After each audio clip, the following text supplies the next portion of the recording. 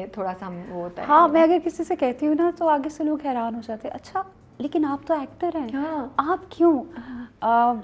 आई think uh, हम actor हैं लेकिन हम्म। इंसान भी हैं और कुछ चीज़ें इंसानों के साथ होती हैं। बिल्कुल। सोशल एंजाइटी जिसके हम्म। बारे में लोग बात नहीं करते ये भी उनमें से एक है जो कि हो सकती है। ओके um, और yes so it's not particularly interviews it's just overall at times yes at times uh, when you meet new people you, when you Hmm. go on a set जो कि आपके लिए नया है uh, वो लोग नए हैं Hmm.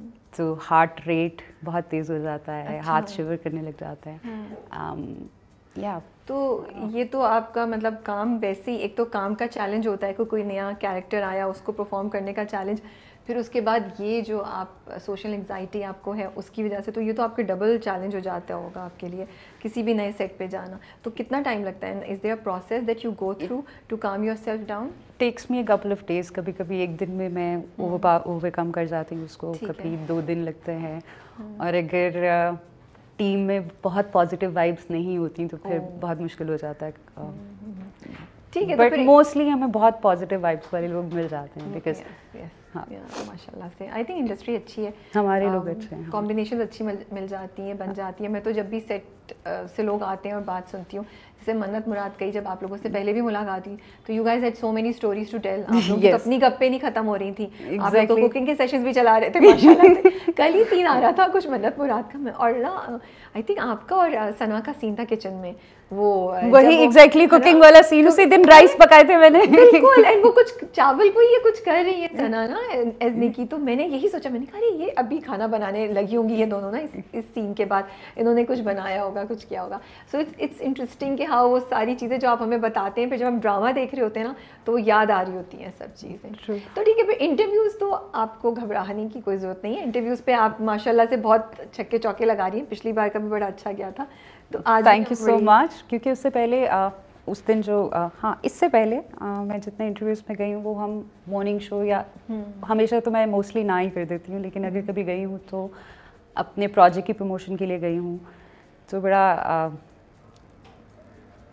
I know what I been fighting inside me okay तो हाँ लेकिन आपके साथ मुझे I didn't feel that way I was very vocal about everything that came into my mind मेरी कोशिश यही होती है कि एक गपशप रहे रादर देन एन इंटरव्यू तो आपको कब रियलाइज़ हुआ that you have this social anxiety शायद अ, मेरे हाथ बचपन से कब कब आते हैं लाइक एट टाइम्स थोड़ा ज़्यादा हो जाता है. और एट टाइम्स कम हो जाता है। और ये ज़्यादा तब होता है जब मुझे एंजाइटी फील हो रही होती है। Hmm. um, कोई नेगेटिव वाइब्स किसी की चल रही होती हैं साथ में या uh, I don't know uh, होता है ओके हाँ वक्त के साथ साथ हाँ। साथ साथ आप रियलाइज़ करते हैं कि क्यों हो रहा है मेरे साथ ये क्यों हो रहा है। तो फिर you study about it you work on it okay तो आपको कॉन्शियस होती थी जब हाथ हिलते थे कि लोग देख रहे हैं तो क्या बोलेंगे क्या नहीं बोलेंगे? इसकी मुझे शुरू से आदत है। ओके सो आई रिमेम्बर मेरी ओल्डेस्ट मेमोरी में ये है कि मैं लिख रही हूँ और मेरे हाथ कब कप आ रहे हैं बिकॉज़ एग्ज़ाम था तो वो इन नर्वसनेस और एंगजाइटी तो किसी ने कहा मैम इसके हाथ काँप रहे हैं किसी क्लासमेट ने तो टीचर ने कहा नहीं इसके शुरू से ही कांपते हैं. तो वो मेरे पास ओल्डेस्ट मेमोरी है Okay, कहीं ना कहीं. बट आई थिंक आप बड़ी बहादुर हैं कि आप इस टॉपिक पे बात कर रही हैं और जैसे आपने शुरू में खुद ही कहा कि लोग इसके बारे में बात नहीं करते लेकिन मुझे लगता है ये एक बड़ी कॉमन चीज़ है। um, कहीं जगह सिम्टम्स या सिम्टम्स ही बोलो कहीं जगह कोई चीज़ें एविडेंट होती हैं बट इवन मैं अगर मैं अपने आप की भी बात करूँ तो मुझे भी सोशल एंजाइटी होती है। शायद मुझे इतनी विजिबली लोगों को नज़र नहीं आ रही हो लेकिन जो आपने बोला ना, दिल ज़ोर से धड़क रहा होता है और अंदर आपकी हालत ख़राब हो रही होती है पसीने भी बह रहे होते हैं यू लाइक कैसे how will I do this हाँ it varies from person to person कि कौन किस तरह से उस पर रिएक्ट करता है किसको कितनी ज़्यादा है किसको कितनी कम है but. Yeah it's okay to have it because it's natural it's normal it's not normal but yeah नहीं it's it's part of your personality I think ये लाइफ का एक हिस्सा है। अब नाउ चीज़ ये कि आप उसको कैसे डील करें आप उसको अपने सर पे सवार करके अपनी ज़िंदगी को रोक तो नहीं रहे हैं, जो आपने नहीं किया। सो माशाल्लाह से you an example and inspiration for all those people जो वो going through it and thinking कि हम कुछ कर नहीं सकते ज़िंदगी में शायद। तो इसीलिए जब मैं अ, देखती हूँ मेरी फैमिली में या इर्द गिर्द दोस्तों में या कोई अपने बच्चों को रेज कर रहा होता है तो मुझे होता है कि ये नहीं करना ये हो जाएगा ये नहीं करना।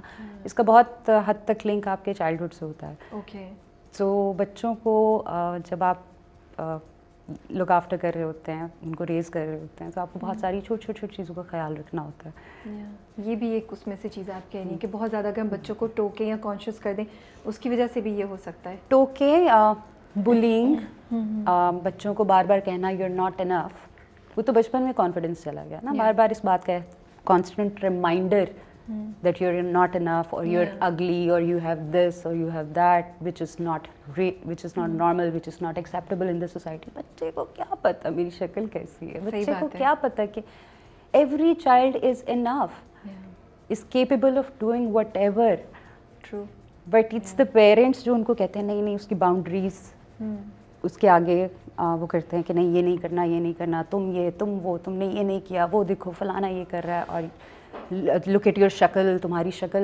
ऐसी है तुम्हारी आँखें ऐसी हैं तुम्हारी नाक मोटी है तुम्हारा ये ऐसे है यू हम्म। नो और उस पर बार बार रिमाइंडर देना और हमारे पंजाब में तो एक सेंस ऑफ़ ह्यूमर के नाम पे जो बुलिंग चलती है हम्म। वो कुछ लोगों लोग ख्याल नहीं करते कि इससे हम्म। कोई हर्ट कोई सेंसिटिव भी हो सकता है कोई उसको डीप डाउन फील भी कर सकता है बट ये होता है सो so, आप पंजाब से बिलोंग करती हैं हाँ। लाहौर मेरी आधी ज़िंदगी लाहौर गुजरी और आधी कराची तो कराची कब मूव की आफ्टर आई गॉट मैरिड उससे पहले आप लाहौर से ही सारा काम आपका पढ़ाई लिखाई करियर स्टार्ट सब कुछ लाहौर से हुआ तो कहाँ पढ़ा हुआ है college been like almost two decades since I'm in Karachi. Okay. अब now Karachi is home for you, right? Karachi is my हाँ. city now. तो पढ़ा हुआ कहाँ से आपने लाहौर में क्या पढ़ा हुआ है? uh, मैंने पहले एम किया hmm. ओके ग्रेजुएट किया मैंने क्वीन मैरी से देन एम किया मैंने इम्पीरियल कॉलेज से। ओके और फिर uh, मैं बी ए फिर मैंने रियल जब मैंने एम सी एस मास्टर्स करना था उस हम्म। वक्त फ़िल्म स्टडीज़ नहीं थी। ठीक है। तो जैसे ही मैंने मास्टर्स कंप्लीट किया साथ ही सारे कॉलेजेस थे फ़िल्म एजुकेशन पे वो ऑफ़र uh, कर दिया फ़िल्म डिग्री हाँ। तो मैंने थिएटर फ़िल्म एंड टीवी की डिग्री के लिए मैं uh, गई B N U but I couldn't complete it because I got married और फिर मैं okay. बहुत कुछ था in my personal life to look after तो I couldn't continue it but one day आप बड़ी बहादुर है मैं तो कभी पढ़ाई के करीब नहीं जाऊँ अब भाई मुझे तो अक्सर एग्ज़ाम्स का भी ख्वाब आता है कि पेपर और मेरी तैयारी नहीं है मुझसे अक्सर कह रहे होते हैं हाँ। हम वो फिजिबिलिटीज निकाल रहे होते हैं वहाँ से कर अच्छा। लेते हैं वहाँ से कर लेते हैं so he wants you to study he is always very supportive उसने मेरे से कहानियाँ सुनी हुई है ना अच्छा इतना शौक है तो कर लो फिर। नाइस माशाल्लाह माशाल्लाह। दैट्स गुड ओके और कितने बहन भाई हैं आप लोग? आर यू द यंगेस्ट और the middle one middle child हाँ हाँ वो जो सब कुछ ये नहीं हुआ और मेरे साथ वो नहीं हुआ। हमेशा एक दुखी एक दुखी आत्मा रहती है मिडिल चाइल्ड है ना? यस वो दुखी आत्मा क्यों होती है? क्यों होती है? आप बताइए। Because I am the eldest मैं मैं जो है ना हम चार बहन भाई है ना एक दफ़ा तो मैंने अपनी माँ अम्मी को कह दिया ना कि हम्म। भाई इकलौता है इसलिए आप उससे प्यार करती हैं। बहन सबसे बड़ी है इसलिए आप उससे प्यार करती हैं। छोटी इज़ द यंगेस्ट चाइल्ड इसलिए आप उससे प्यार करती हैं। Nobody loves me for no reason तो अम्मा ने क्या बोला आगे से? नहीं अम्मा ने फिर मेरा ख्याल रखना शुरू कर दिया।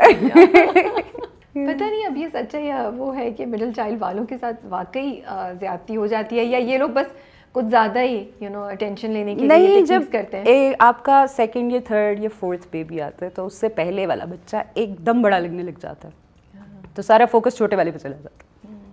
तो बड़े वाले को फिर इग्नोर मोड पे हम्म। चला जाता है जो कि नहीं होना चाहिए ओके okay. आपकी अम्मी पीटीवी पे काम करती yes. थी क्या करती थी वो वहाँ पे मेकअप आर्टिस्ट थी ओके okay. तो आप लोगों का तो आना जाना रहता होगा सब बहन भाइयों का बिल्कुल मे, मेरा सबसे ज़्यादा था क्योंकि मेरा कॉलेज क्वीन मेरी बिल्कुल पीटीवी की बिल्डिंग के बराबर में था। ओके। तो जहाँ पे माँ है वहाँ पे घर है। सही बात क्योंकि मेरी मदर सिंगल पेरेंट घर पे कोई है नहीं तो मैं स्कूल से सीधा अम्मी के पास। तो अम्मा के साथ जब उनकी छुट्टी हो जानी फिर घर जाना। तो पीटीवी के कॉरिडोर्स में मैं पली पड़ी हूँ। हम्म। और उधर से ही आपने उधर से ही कोई ना कोई हाँ भाई साहब इधर इधर उधर ये पढ़ना जरा। ये कर दो कर दो कर दो कर दो। हाँ, हाँ। तो ऐसे में चाहे तो कौन से लोग याद हैं आपको मेमोरी में अगर आप याद करें जिनको यू नो एक्टर्स एक्ट्रेसेस जिनको हम अब देखते हैं तो यू नो याद करते हैं वो आपके आसपास ही फिर रहे होते थे। वो कभी ये सब। सब। कौन से आपके फेवरेट थे या उन्होंने एक इम्प्रेशन छोड़ा आपके ऊपर सुहेल अहमद साहब हम्म। नूमी भाई um, सब लाइक सब और फिर अब उनके साथ काम करते हुए आपको कितना जब पहली बार किया होगा तो कितना पहली बार तो मैं यू थी रंजिश में नोए भाई भी थे सोहेल सर भी थे तो okay, दोनों एक साथ? हाँ और ये लोग आपस में हंस इनका आपस में बड़ा कोई ना उस तरह का दोस्त दोस्ती है हाँ। कि वो हर वक्त एक दूसरे को हंसाते रहते हैं हँसते रहते हैं। हम्म। तो मैं यूँ देख रही थी।